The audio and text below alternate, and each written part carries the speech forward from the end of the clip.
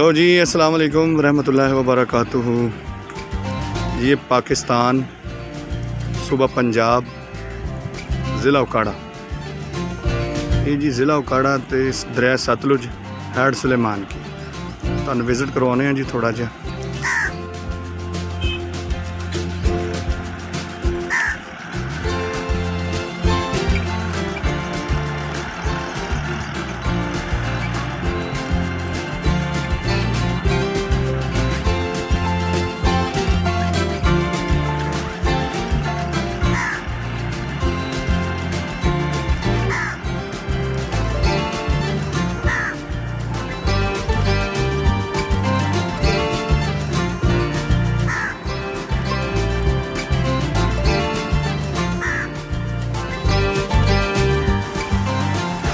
ਨਹਿਰਾਂ ਜੀ, ਜ਼ਿਲ੍ਹਾ ਪਾਕਪਤਨ ਸ਼ਰੀਫ ਨੂੰ ਜਾਂਦੀਆਂ ਨੇ ਜੀ। ਦਰਬਾਰ ਬਾਬਾ ਫਰੀਦ ਦੇ ਕੋਲੋਂ ਕ੍ਰਾਸ ਹੁੰਦੀਆਂ ਨੇ।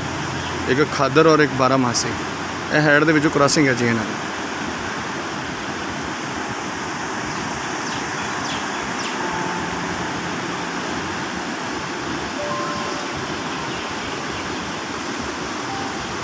ਇਹ ਸਾਹਮਣੇ ਚੌਕੀ ਹੈ ਜੀ, ਆਰਮੀ ਦੀ।